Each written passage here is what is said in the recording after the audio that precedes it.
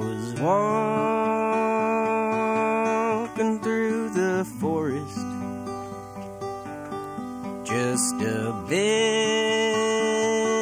down on my luck. My smokes had fallen through the hole in my pocket. And the boss man laid me off last week. When I seen, oh, I seen something a hopping right by a tree. What could it be? Well, I found an old frog, I found an old frog sitting on a log. I found an old frog. Hopped up the tree quite gracefully. He said, Mister, do you have a lighter for me? I said, Mr. Frog, now I got a light, but I lost my smokes, and would you mind if I take a toke or whatever you got? What are you rolling, tobacco or pipe? The frog said, I don't smoke no cigarettes. Gives me the hiccups and a heavy chest. And I don't blow no reefer too. This right here is, is just a little bit of K2. Whoa, Mr. Frog, no, I, I don't, uh, not anymore. I guess uh, those days are over, but, well, okay. I am in the middle of the woods. I did just lose my job, and I'm already talking to a frog. Alright, I'll try a little bit. Okay, whatever. so me and the frog, well, we lit it up, and then we huffed and puffed until we coughed up blood, and then we huffed and puffed, then we huffed some more.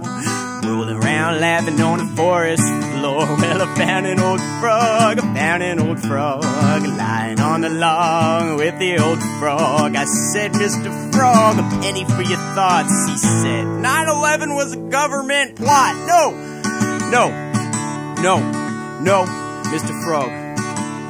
Mr. Frog, now I don't agree. This the land of the brave and the home of the free. Now I'm not a huge fan of Uncle Sam, but I can't believe he'd attack his own land. So the frog he borrowed my iPhone. He pulled up a picture of an army drone doing loop de loops around ground zero. I said, Mr. Frog, that's just a UFO. He said, What's it doing on that day? At that time, in that place, I said, Mr. Frog, I think you smoked too much. He said, Oh shit, we're just getting started. Oh boy.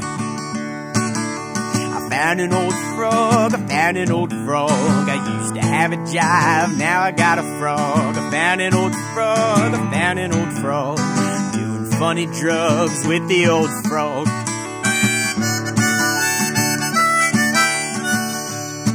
Well, now the froggy hopped up in my hand. He said, Lick my back, taste my glands. So I licked him twice and I started to see the forest turn into an old prairie with a golden fields and a silver skies.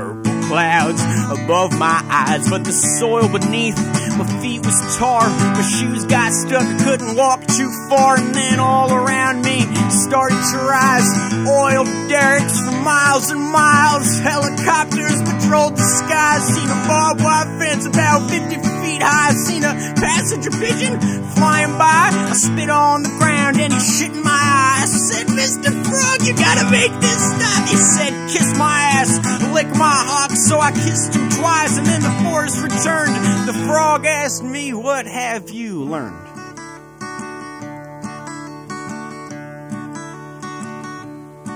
I said, Mr. Frog, now I've seen the past, the present, future, and I know at last Mr. Gas Company controls what I see.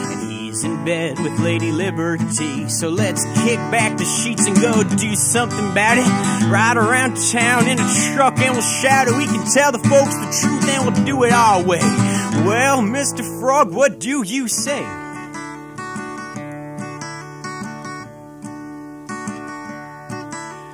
Frog was real quiet. He just pointed to the skies, pointed at a drone about 50 feet high, flying low and slow right above the tree line. The frog tossed me back my phone. He shouted, Hey, up there! That's his, it ain't mine! You see now, Uncle Sam, he didn't think it too clever that my search history said Building 7. So the drone scooped me up to Guantanamo Bay, and that's where I'm now, and that's where I'll stay.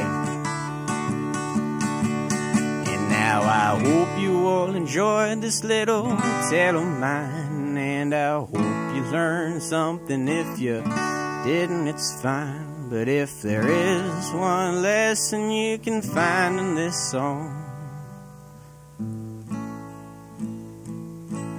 It's never take no drugs from any fucking frog. Well, I found an old frog, I found an old frog. I used to have a job, now I got a frog. I found an old frog, I found an old frog. Man, I wish I never found that motherfucking frog.